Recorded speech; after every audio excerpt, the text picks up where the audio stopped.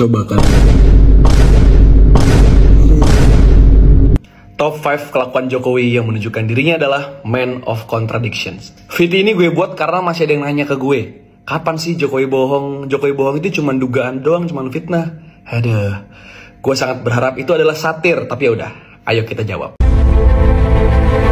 Welcome to your channel QNC Berdiri kokoh di tengah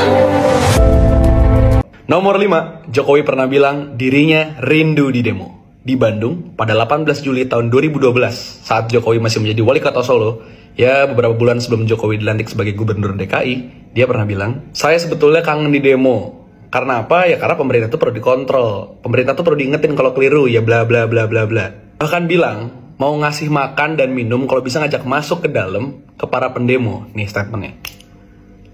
Sungguh terlihat sangat demokratis bukan? Tapi sekarang faktanya ngasih makan. Makan apa? Gas air mata. Di tahun 2019, YLBHI mengatakan bahwa kekerasan yang dilakukan oleh aparat saat demonstrasi adalah 68 kasus yang terlapor. Penangkapan sewenang-wenang 3.539 korban. Penahanan sewenang-wenang 326 korban. Dan penyiksaan sebanyak 474 korban. Itu baru tahun 2019, belum ditotalin sampai tahun 2024. Dan kita tahu, setiap demonstrasi selalu ada represivitas. Rindu di demo? Bohong kan? Nomor 4. Presiden hobi pakai baju adat, tapi masyarakat adatnya dikriminalisasi. Jokowi itu hobi banget pakai baju adat di acara-acara formal kenegaraan. Terakhir, di sidang MPR tahun 2023, Jokowi menggunakan baju adat Tanimbar di pidato kenegaraan. Dan ini daftar baju adat Jokowi di sidang MPR dalam lima tahun terakhir. Bagus sih niatnya, masalahnya nggak didukung sama aksi nyatanya. Aliansi Masyarakat Adat Nusantara mencatat selama pemerintahan Jokowi ada 687 kasus kriminalisasi terhadap masyarakat adat. Banyak ketua masyarakat adat yang ditangkap, contohnya ketua adat Kinipan. Dan bahkan dalam pembangunan IKN sekalipun, Jokowi tampak tidak merangkul masyarakat adat dalam pembangunannya. Peduli masyarakat adat? Bohong lagi kan? Nomor tiga, bilangnya mau memperkuat KPK, tapi justru KPK dibunuh dan dilumpuhkan. Pada tanggal 9 September tahun 2019, Jokowi berjanji akan memperkuat KPK. Pada debat Capres tahun 2014, bahkan Jokowi berjanji siap menambah 1000 penyidik KPK jika diperlukan. Tapi faktanya, Jokowi membiarkan pengesahan revisi UU KPK yang membuat KPK dilemahkan dan menjadi lumpuh.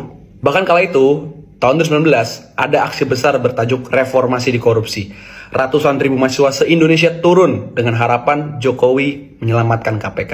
Tapi faktanya Jokowi tidak. Jokowi alih-alih menambah penyidik justru malah mendepak 75 pegawai KPK yang dianggap berintegritas melalui TWK. Misalnya Novel Baswedan. Jokowi memperkuat KPK. Bohong lagi kan? Nomor 2, bilangnya mau nemuin Wiji Tukul. Pada 9 Juni 2014, Capres Joko Widodo mengatakan Wiji Tukul harus ditemukan, harus jelas, baik hidup ataupun meninggal. Jokowi juga pernah berjanji untuk menuntaskan 12 kasus pelanggaran HAM berat di masa lalu. Bahkan pada debat Capres tahun 2019, Jokowi pernah mengatakan di hadapan Prabowo dan di hadapan publik bahwa Jokowi tidak memiliki potongan diktator dan juga potongan otoriter. Faktanya, tidak satupun kasus pelanggaran HAM berat dia usut tuntas. Dan yang lebih parah, dia merangkul salah satu orang yang Jokowi anggap sebagai salah satu aktor dari penculikan aktif 98, Prabowo Subianto. Bukan hanya dirangkul, dikasih jabatan Menteri Pertahanan, dikasih kenaikan pangkat bintang 4, dan kemudian dimenangkan sebagai Presiden Republik Indonesia. Jokowi peduli HAM? Bohong lagi kan? Last but not least, nomor satu, Jokowi bilang anaknya tidak akan masuk dalam politik. 25 April tahun 2018, Jokowi bilang anaknya enggan masuk politik.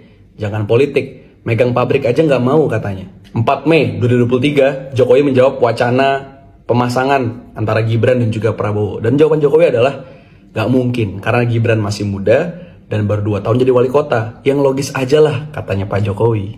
Faktanya, keluarga dinasti baru telah lahir. Anak sulungnya diberikan karpet merah dengan jalur paman di MK untuk menjadi calon wakil presiden. Anak bungsunya menjadi ketua partai politik hitungan hari tanpa kaderisasi. Menantunya jadi wali kota di saat Jokowi masih menjabat sebagai presiden. Ada wacana pula Aspri istrinya maju jadi wali kota. Aduh. Jokowi bilang dia jauh dari dinasti. Bohong lagi kan? Ya itulah top 5 kelakuan Jokowi yang menunjukkan dirinya adalah man of contradiction. Sebenarnya masih banyak banget lagi, tapi kalau gue bikin semuanya, bisa-bisa bukan VT jadinya. Dokumenter, saking banyaknya.